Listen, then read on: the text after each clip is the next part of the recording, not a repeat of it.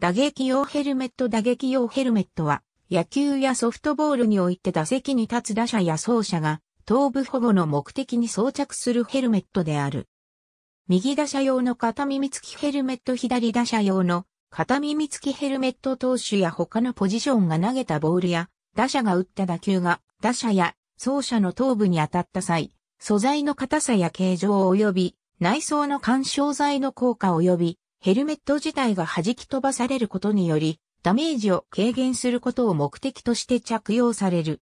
1920年、メジャーリーグベースボールで、レイ・チャップマンが投球を頭部に受け死亡したことをきっかけとして、革製ヘルメットの開発が行われ、その後現在では、ポリカーボネートなどの強化樹脂が使用されている。ユニフォームの一部である野球帽と同様のデザインが施されることが多く、形状も通常のヘルメットとは異なり前頭部には野球棒型の大きな日差しが設けられているほか、側部には耳当てが付けられている。ヘルメットの形状には規則がなく、どんな形のヘルメットでも基本的には認められる。なお、安全ヘルメットなどにある顎紐は衝撃をまともに受けて逆に危険になるため、付けられていない。両耳付きヘルメットを着用する、スイッチヒッター両耳付きヘルメットを着用するマイナーリーガー耳当ては、片耳付き、両耳付きの2種が存在する。片耳付きの場合は、打席に立った際に、投手側に面する方に耳当てが付けられる。アマチュア野球では、事故防止のために両耳付きの着用を義務付けている場合がほとんどで、日本の高校野球の場合は1993年度から1994年度までを準備期間とし1995年度から領事が義務付けられた。プロ野球でもアメリカのマイナーリーグは両耳付きの着用を義務付けている。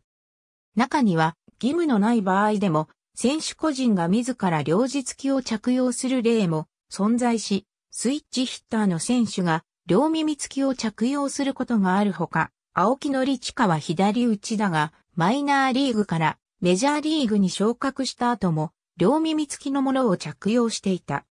耳当て付きヘルメットは、日本では1970年に、田淵光一が側頭部に子宮を受け耳から出血したことをきっかけに広く使用されるようになった。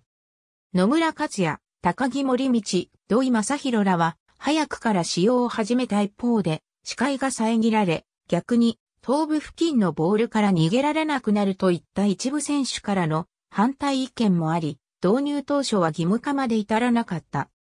プロ入り1年目は着用義務付けの時期を経て、1996年シーズンにより、1984年以降に在籍した選手及び、1983年に在籍し耳当て付きヘルメットを着用した選手は、耳当て付きヘルメットの着用が義務付けられた。基準制定以降、これらの条件に該当しない選手は引き続き耳当てのないヘルメットの着用を特例として認められた。この間、落合博光、平野健、金森英二、田村藤尾ら14人の選手が耳当てのないヘルメットを着用していたが、2000年限りで引退した愛子武氏が最後の着用選手となった。なお、1995年シーズン終了時点で耳当てなしヘルメットを着用していた和田豊、大宝康明は前述の着用条件に該当し、耳当て付きヘルメットに戻すことを余儀なくされている。一方、安倍治は特例条件により1996年シーズンは引き続き耳当てなしヘルメットを着用していたが、近鉄に移籍した翌1997年以降、耳当て付きヘルメットに変更している。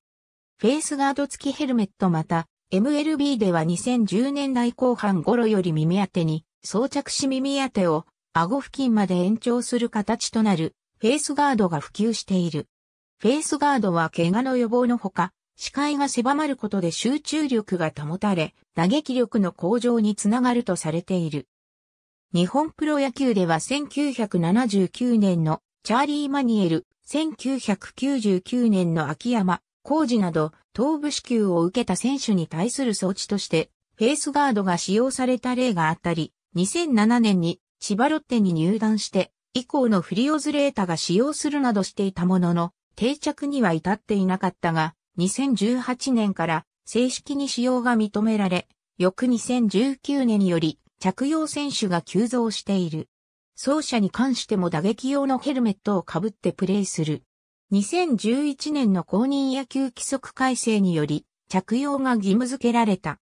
ホッケー型キャッチャーマスクヘルメット保守、専用ヘルメットラリー棒は守備につく際にヘルメットを着用するポジションは保守で通常の打撃用ヘルメットと異なりつばと耳当て部分が省略された保守専用ヘルメットが多く使用されている。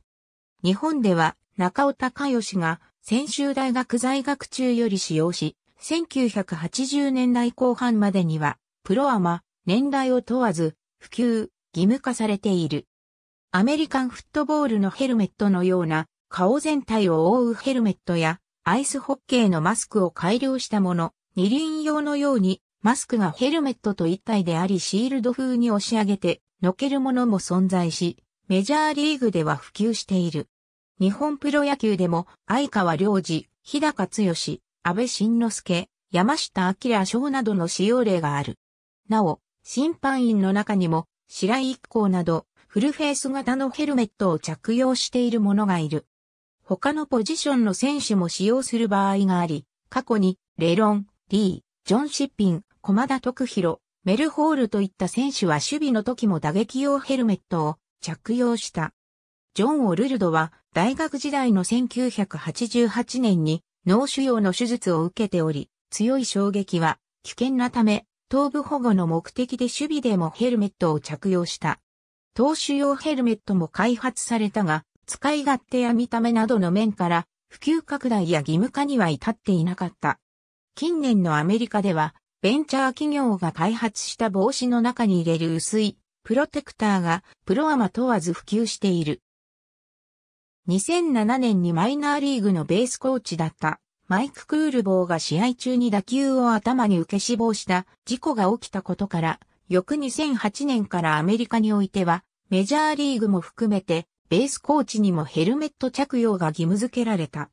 日本ではアマチュア野球が2009年に、プロ野球では2010年からそれぞれヘルメット着用が義務化された。ワールドベースボールクラシックでは第2回大会からベースコーチのヘルメット着用が義務化された。